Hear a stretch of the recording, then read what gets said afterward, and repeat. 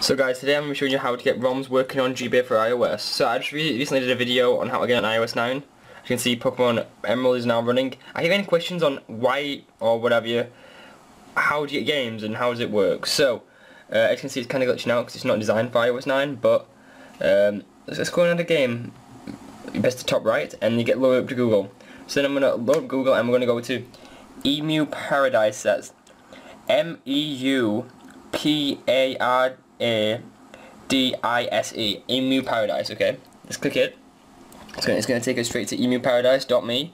That's the right link. Let's click it, and it's going to say Welcome to Emu Paradise. Scroll down right here, and you can see all the ROMs. I'm going to search for GBA ROMs right there. Add that. Download GBA for uh, GBA Advanced ROMs. As you can see, here's all the names. We're going to go for Pokemon because it can't be the bit Pokemon. Oh, I pressed O. Okay. P.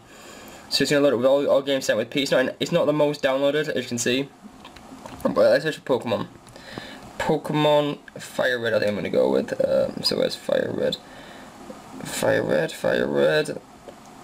There we go, Fire Red.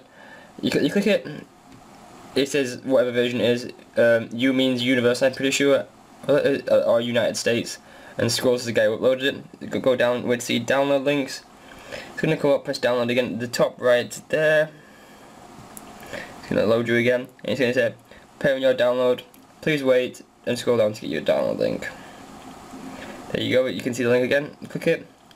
By tapping download, you confirm you're in the game. Download. Rename it whatever you want. Save. And it's going to redirect you and it's going to start to download. Uh, and uh, there we go. It's like it's kind of glitched out a little bit because it's not really designed for iOS 9 yet. Not optimized, but it should open up with GBA4iOS. Pokemon Fire Red. Let's check. And also the sound works, just check this out.